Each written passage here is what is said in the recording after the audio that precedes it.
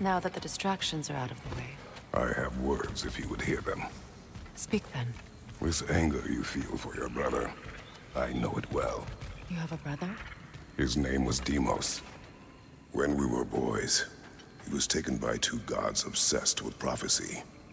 The gods of my homeland seldom left survivors, so by the time I learned he had lived, it was too late for amends. His anger poisoned him against me. But I never stopped loving my brother. You think my anger is irrational?